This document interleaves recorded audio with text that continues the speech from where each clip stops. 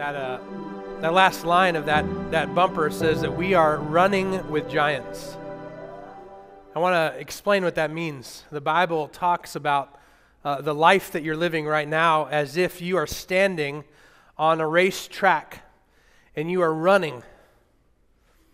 And uh, it, we, we actually see this in Hebrews 12, verse 1. This is the theme verse for this entire summer series that we're going through, Running with Giants. It says this Therefore, since we are surrounded, picture this for a moment.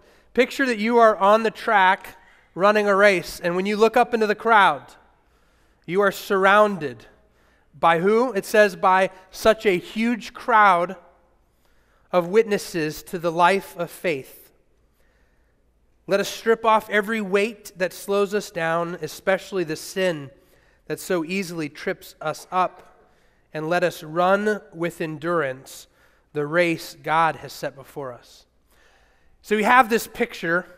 You are on the track of life and you are running, hopefully, running this race. And in the stands, you are surrounded by a, a huge crowd of witnesses. Who are they? Who are these people that are cheering you on? And the way that the Bible kind of, the way I understand this, this passage of Scripture, these are the giants of the faith that have already passed on. They are no longer running the race. They were running the race, and now, if you will, they have retired into eternity. And they are now sitting, uh, surrounding you in the stands, cheering you on in your own race. How awesome is that? That we have giants of the faith that we can look at, that we can go into scripture and we can say, "Hey, what is it that you should that you would tell me if I asked you to coach me?" As we pull giants out of the stand for the next 7 weeks, we're going to take one giant a week. Uh, by giant, I don't mean literal like giants, right? I'm talking about someone whose faith was so large that we call them a giant of the faith. In fact, you just go back one chapter in Hebrews chapter 11, and you get a chapter that we call the Hall of Faith. These are the, the, the men and women who have just a tremendous story of faithfulness to God. And these people are no longer living. But if we were to take them and say, hey, I am, I'm running this race and I need you to stand. I need you to be in my, in my corner cheering me on. I need you to be yelling at me, telling me what it is that I ought to be doing. I need you to be coaching me from the sidelines. I need you to run with me. What is it that these giants would say to us? That's what we're going to be looking at over these next seven weeks. And today, specifically, we're going to look at a giant by the name of Joseph. Now, there are a lot of Josephs in the Bible. Uh, we're going to specifically look at uh, the Joseph that takes up most of the story of Genesis. Uh, Genesis is broken up into two parts. So if you go all the way back to the very first book in the New Testament, Genesis chapters uh, 1 through 11 is basically the story about how God created uh, the earth and kind of got everything started. Uh, that's chapters 1 through 11. And then chapters 12 through the end of Genesis is ultimately the story of Abraham and his family. It's the story of Abraham. Uh, Abraham had a son named Isaac. You remember Isaac? And Isaac got married uh, to Rebekah, and they had two sons, uh, Jacob and Esau. Remember, Jacob and Esau were both vying for their father's blessing before he died. And Jacob was able to, through deceit, get his father's blessing. So you have Abraham, and then Isaac, and then Jacob. And then Jacob, uh, his name was changed in the Bible. Sometimes you see him called Jacob, sometimes you see him called Israel. So Jacob and Israel are the same person. And when you hear in the Bible about the 12 tribes of Israel, it's really the 12 sons of Jacob. Jacob had 12 sons, and each of them had their own family line. And each of them, uh, their families went on, and you can read about them in Scripture in a lot of places. But one of Israel's, one of Jacob's sons, his 11th son, was Joseph. So Joseph, uh, for the sake of a family tree, is the great grandson of Abraham. And Abraham, as we know, had many sons. This is, this is one of his family line. Now, here's the crazy thing about uh, Jacob and his sons. You see, he had uh, fathers, if you want some free advice here on Father's Day today, don't ever do this. Don't ever choose a favorite son or daughter and then tell them. but uh, Jacob didn't do this. He had uh, 12 sons. At the, the beginning of the story, there were only 11, and Joseph was the youngest of his sons. And Joseph, at this point, at the beginning of the story, was his favorite son. So much so that every other son knew. It wasn't a secret. In fact, he got a special gift from his dad because he was so special. Many of you know about this, right? He got a coat of many colors, a Technicolor dream coat, right? So he's got this coat, and imagine Joseph walking around in this nice coat. His brothers don't have a coat on like this at all. And he's walking around. Not only is everybody aware that he is his dad's favorite, but now he's wearing it on him. He's like, yeah, clearly I'm dad's favorite. And the Bible shows us that his brothers hated him for it. It doesn't take a lot of imagination to imagine why his brothers didn't like him very much. Imagine if your family had favorites and they were vocal about it and you weren't it. Uh, you probably would have some animosity towards your sibling that was, right? And that's what happened here. So Joseph is dad's favorite, and we can read about his story in Genesis chapter 37 all the way through the end of Genesis chapter 50. So if you want, we don't have time today to read the entire story of Joseph. I have to give you a Cliff's Note version today. But the story of Joseph is a phenomenal story. It's a story of ups and downs. It's a story of twists and turns. It's an incredible story. Um, but for the sake of today, I have to give you just the highlights uh, and tell you what it is that I think Joseph would say to you if you asked him to coach you from the stands. If you asked him to get out of the stands and come on the field and run alongside you, what is it that Joseph would say to you? Hey, coach, what do you got for me? What do you want me to do? And here's what Joseph would say He would say this Don't quit.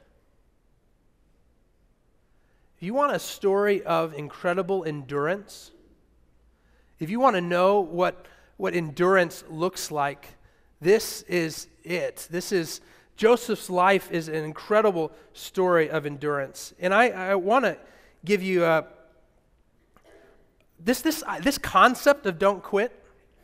Some of you right now, you are in a phase of your life right now where you are ready to, to throw in the towel. Maybe you're ready to to quit on a dream that you have. Maybe you feel like God was calling you to something and things just aren't working out the way you expected, so you're ready to, to throw, it, throw in the towel. You're ready to quit. Maybe you're ready to quit on your faith.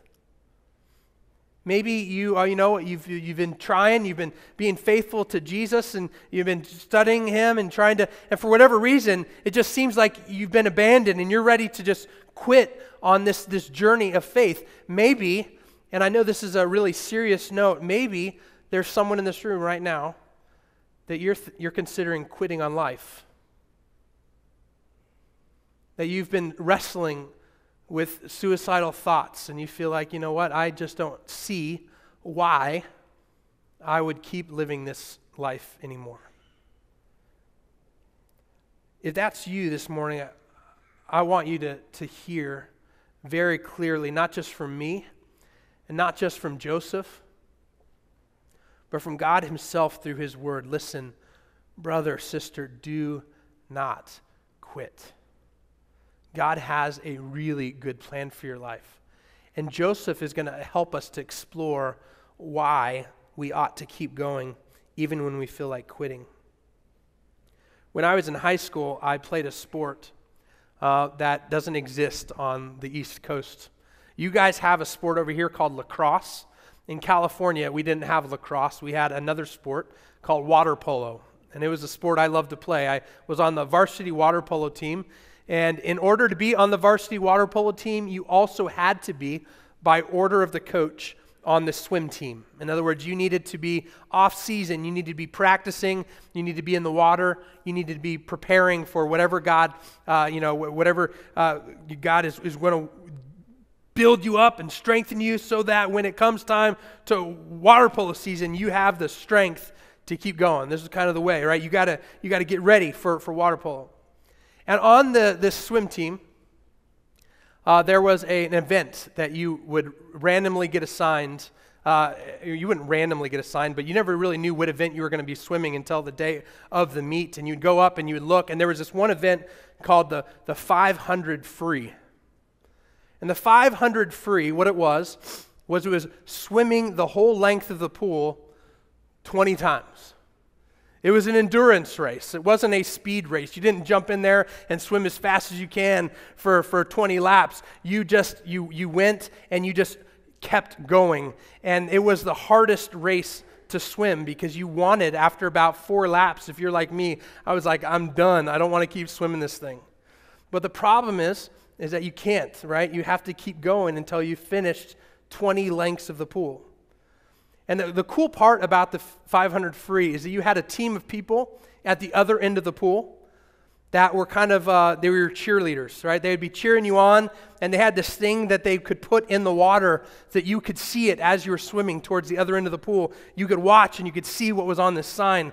And what was on this sign you know what would have been really cool to see on the sign? You got it! Keep going! Don't quit like those would have been really encouraging words uh, but they weren't allowed to put those words in there. Uh, the only thing they could put in the water, a message to the swimmer, is how many laps are left. So you jump in the water, right? And you normally they wouldn't do it right away because it's, it's super discouraging to get down there and see, wait, 19? That's wait, that's not encouraging at all, right? But eventually you, you notice that as you're swimming, that number is getting smaller and smaller, and you keep going and you have that endurance uh, you, you need to have that endurance to not quit and to keep going until you finally see that number one, one lap, you know, one length to go. You're almost there. Finish strong. And you notice we always find that energy on that last little bit, right? We can find the, the energy to go strong. And Joseph would be saying this to you listen, this life, it is not a sprint. We need to learn how to run with endurance. Check this out in uh, the beginning of Joseph's story, Genesis 37, verses 5 to 7. It says, One night, Joseph had a dream. And when he told his brothers about it, they hated him, listen to this, more than ever. So they already hated him. Okay, he was already hated by his brothers. They now hated him more than ever. It says, Listen to this dream, he said. We were out in the field tying up bundles of grain. Suddenly, my bundle stood up, and your bundles all gathered around and bowed low before mine. So imagine Joseph. He's walking, he's already got his nifty little coat on. He's dad's favorite. He has this dream, and he's like, Hey, brothers who already hate me, check this out. I got this dream I want to share with you.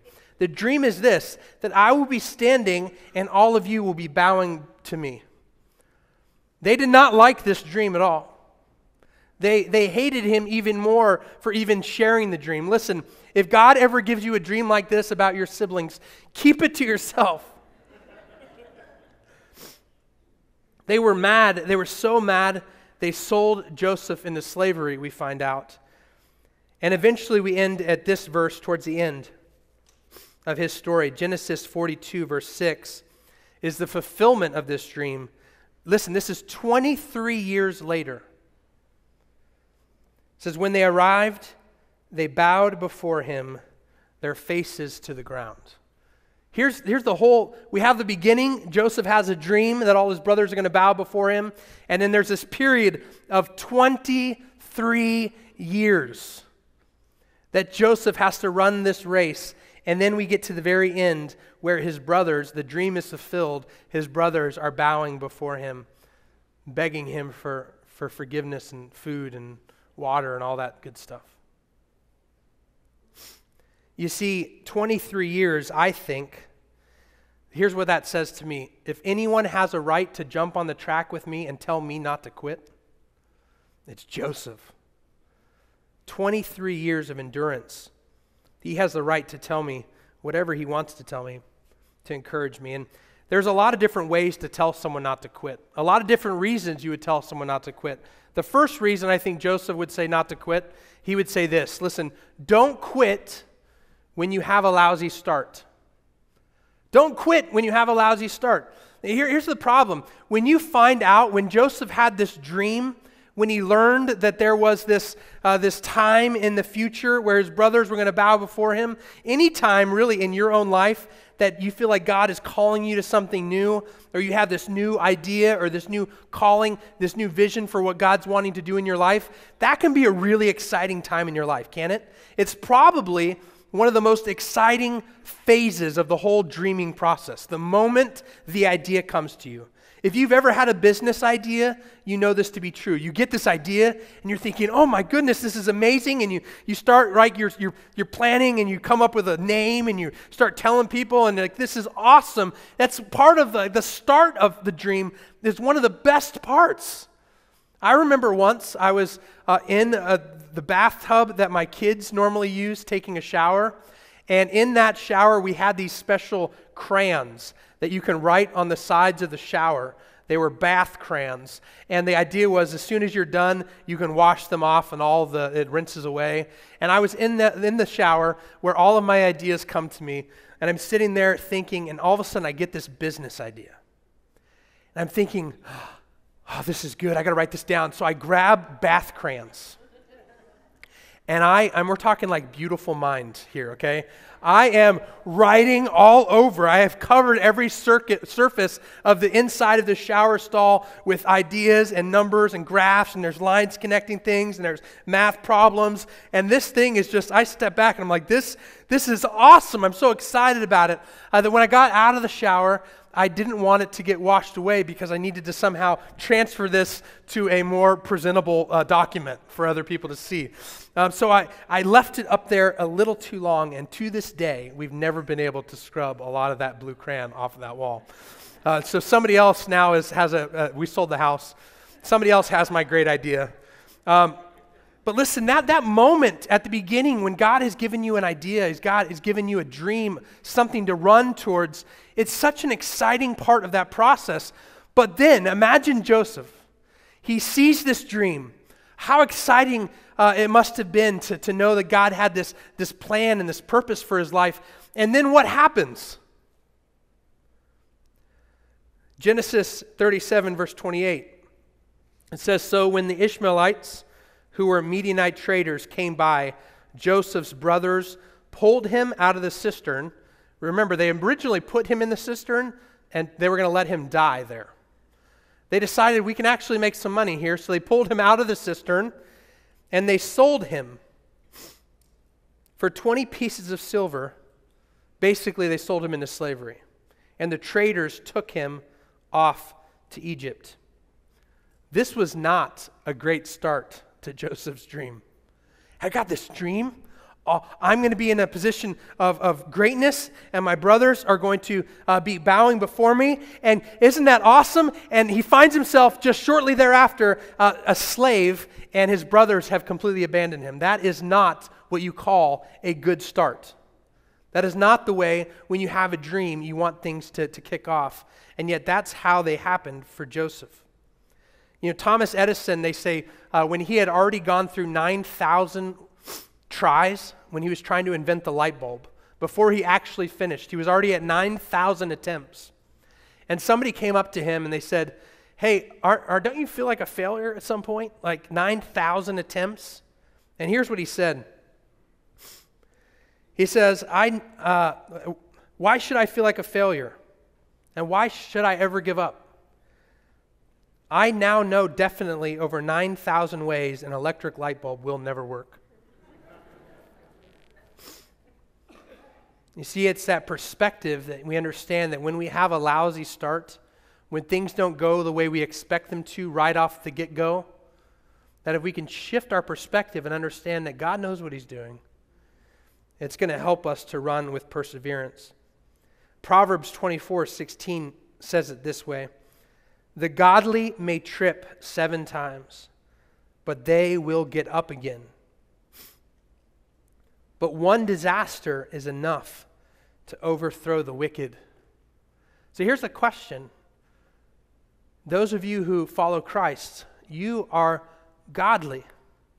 When you find yourself with a lousy start, when you find yourself tripped up and on the ground, don't throw in the towel. Get up. Keep running. That's what Joseph would be whispering to you right now. Here's another thing that Joseph would say about quitting. He would say, Don't quit when you have little support. Don't quit when you feel like there's no one around you supporting you. When you feel like your own family has abandoned you, Joseph's saying, Oh, wait, you think you have a story about your family abandoning you? Listen to my story.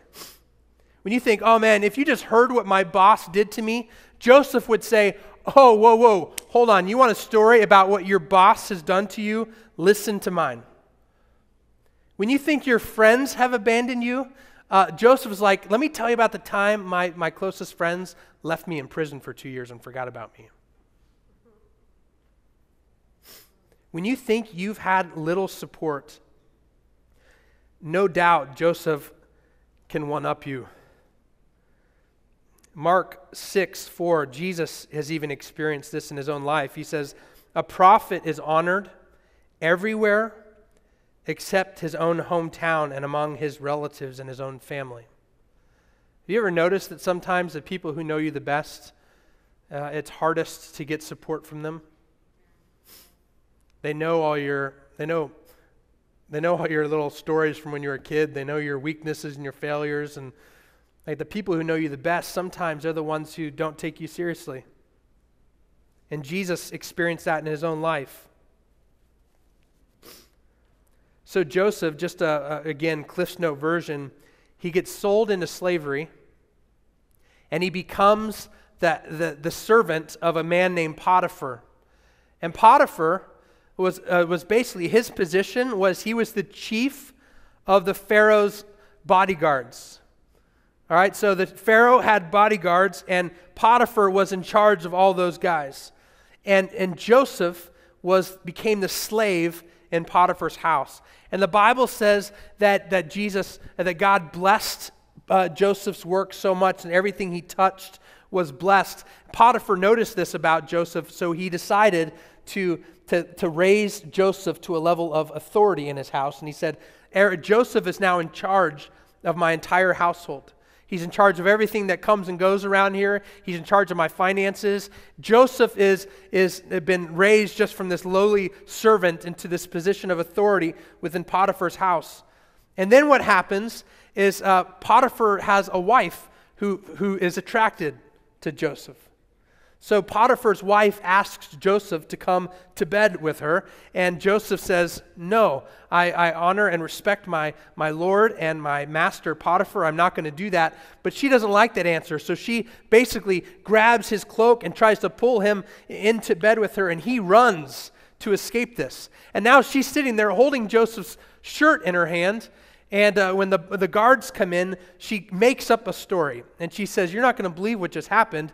Joseph was in here and he tried to rape me. And Potiphar hears this story, and here's what it says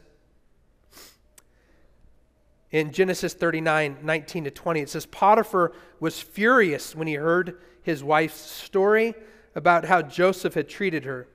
So he took Joseph and threw him into the prison where the king's prisoners were held, and there he remained. So he's falsely accused and thrown into to prison. Now, here's the deal about Potiphar we know that he very much cared for Joseph, we know that he trusted Joseph. And the crazy thing here, too, is what would you do if you were the chief of the Pharaoh's uh, bodyguards and you found out someone was trying to do some funny business with your wife? What do you think Potiphar could have done in that moment? He could have killed him. That's probably what I would have done, right? Wait, what did you try to do? Like, in that moment, Potiphar could have easily had Joseph killed. And the fact that he didn't, the fact that Potiphar, instead of having Joseph killed, had him taken and put in prison, I think, I'm just, uh, this is conjecture, but I think that Potiphar knew that his wife's story wasn't true. I think Potiphar knew that Joseph was an honorable man, but he had to do something about his wife's accusation. So Joseph, in that moment, was betrayed by his boss. Talk about little support. And then we see this get even worse. While Joseph was in prison, he made friends. He made friends with uh, the people in prison. And again, everything Joseph did was blessed by God to the point where the, the, the head of the prison saw that Joseph was the man. So he put Joseph in charge of the prison. Now, get this everything Joseph does, God is blessing. So now Joseph is in charge of all the prisoners, he's in charge of the prison, and two of the prisoners have a dream. And Joseph is able to interpret them properly and tell them exactly what their dream means. And one of them is good news, one of them is bad news. But at the end of the day, this guy, he, one of the dreams he interpreted was of the, the Pharaoh's cupbearer. And that cupbearer was released from prison, just like the dream said, that he would be released from prison to go and continue to serve the Pharaoh. And Joseph says, Listen, when you go back and you see the Pharaoh, would you, would you do me a favor and remember me? Would you tell Pharaoh about what, what I did and that I didn't do that other thing? And would you, would you speak on my behalf? And the cupbearer, one of his closest friends from prison, gets out and forgets all about Joseph. And Joseph spends another whole two years in prison because his friend forgot about him. So here's the deal if you've ever felt like you've had little support from your family, little support from a boss, little support from coworkers, little support from from your friends. Joseph wants to remind you me too, don't quit. Keep running. You see, the truth is that you don't have little support. When you feel like there's no one cheering you on from the stands, no matter what, God's word is very clear that Jesus himself is running alongside you. And it doesn't matter if your friends or your family or your boss or whoever, you don't feel like you have support from them. Romans 8:38 says, "I am convinced that nothing can ever separate us from God's love.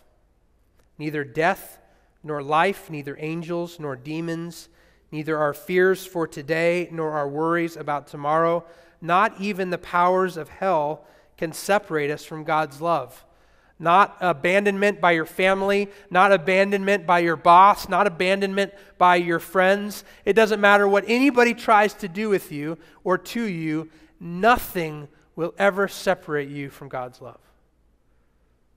So Joseph is whispering to you right now listen, don't quit when you have little support because you got God by your side. Number three, Joseph would say, Don't quit when you experience hurdles. The whole idea of running around a track to me, uh, I don't like to run, so that already doesn't really sound exciting to me. I'm not a runner. Uh, my body shape probably gives it away. Um, I, have never been a runner, but the idea of going out on a track to run, uh, fine. If I got to, all right, put me on a track, I'll run around a few times. But then this whole idea of a hurdle, that just sounds cruel, doesn't it? Like, wait, now I got to run and jump over things? And some of us in our life right now, listen, you are experiencing a hurdle right now in your life. Some of you, you're feeling like, you know, Matt, I get over one hurdle, and as soon as I'm on the other side of that hurdle, I'm looking at another hurdle. And I feel like I'm just jumping over hurdles, and my life is just hurdle after hurdle after hurdle. Some of you feel like you got one big hurdle, and it's like this tall, and you have no idea how you're going to get past it. Some of you are, for some reason, you're like, right now, Matt, I, I don't have really any hurdles in my life.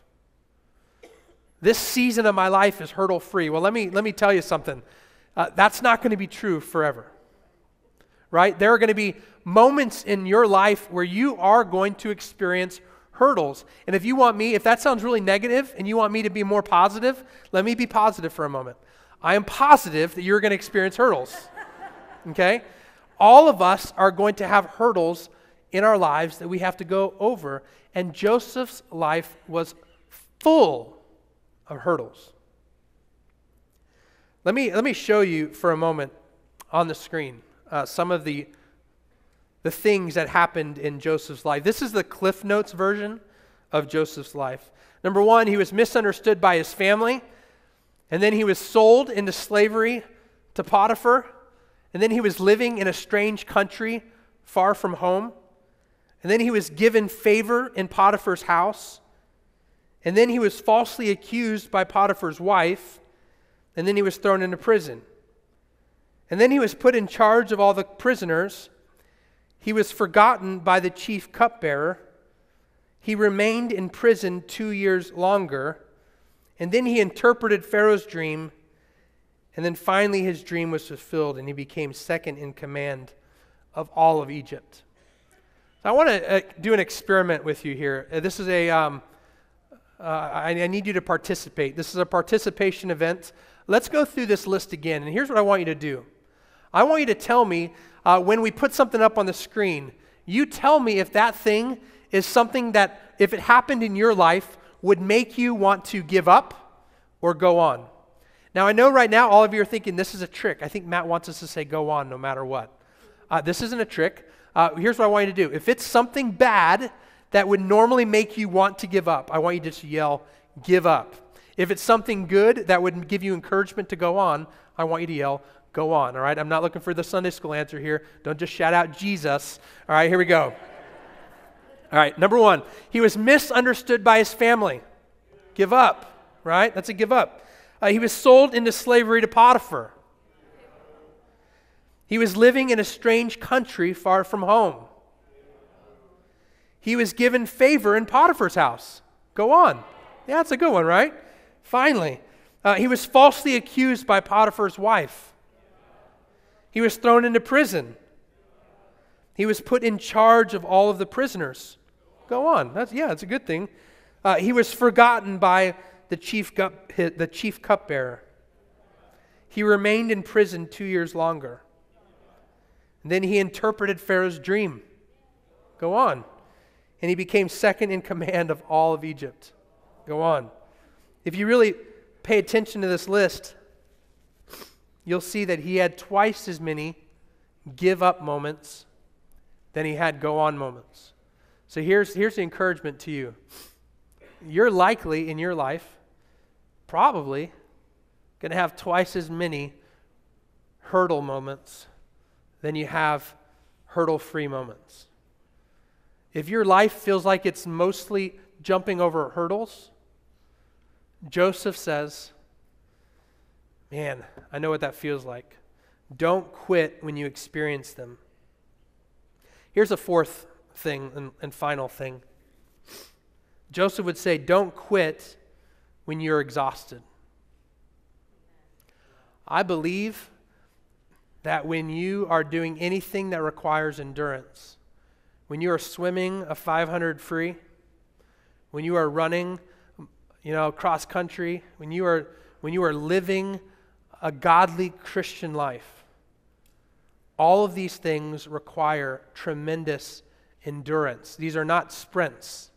This is not something you just do real quick and get done and you're like, whew, I'm glad that's over, right? It's something that you have to go and you have to go. And even when you feel like you can't go on anymore, even when you're tired, even when your muscles are saying, Matt, we're done. As some of you in this room right now, you're saying, Matt, it's easy for you, it's easy for Joseph to say, uh, don't give up. But you don't know what I'm going through at this moment. You do not know how tired I am. I can't even feel my legs anymore. I want to remind you that Joseph didn't see the fulfillment of his dream for 23 years. The amazing thing, too, in the story of Joseph, Genesis 37 through the end of Genesis, not one time, listen, we know Joseph was a sinner. All have sinned and fallen short of the glory of God. But for whatever reason, not one single time is there ever a recorded instance of Joseph sinning. In this whole story. Not once do we see him get angry or raise his voice or get mad or shout or punch a wall. We don't see Joseph uh, in, in the middle of exhaustion ever do anything that I would do in the middle of exhaustion. When I feel like giving up, man, those are the moments where I, I probably act the most not like Christ. And Joseph would say, Listen, brother and sister, when you are tired, when you are exhausted, don't quit Psalm 73 26 says, says it this way It says, My health, my health may fail, and my spirit may grow weak, but God remains the strength of my heart. He is mine forever. See, we have an incredible strength within us through the Holy Spirit. So let me give us a so what. It's easy for, uh, for Joseph to say something like, hey, church, don't quit. It's really easy to, to step up and to just say, hey, hey, don't quit. But if you're like me, I would want the coach, I would want Joseph to tell me, uh, listen, I get, Joseph, that you didn't quit. I get that you went through a lot of things and you had to jump over a lot of hurdles and you had a lousy start. I get that you didn't have anyone supporting you or cheering you on. I get that all these things were true for you, uh, but I need to know more than just don't quit. I need you to tell me how to do life without quitting. How do I not quit? Because everything inside of me says quit, quit, quit. How do I go through life without quitting?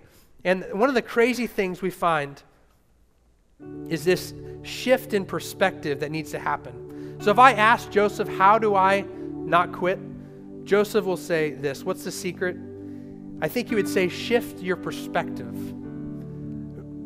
I want you to write this down if you can. Focus on what is happening in you, not what is happening to you.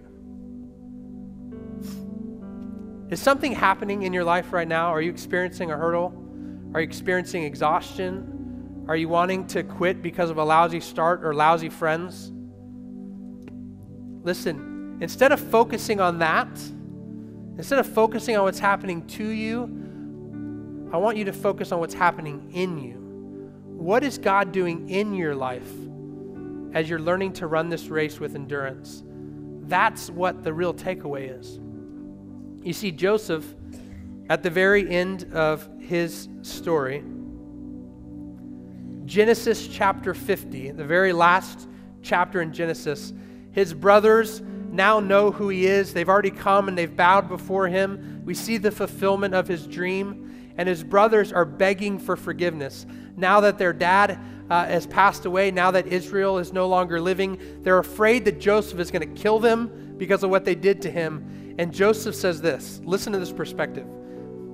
He says, You intended to harm me, but God intended it all for good. He brought me to this position so I could save the lives of my people. What he said is, I went through 23 years of confusion and frustration and exhaustion, and I kept running. And why? so that I could be here right now to save your lives.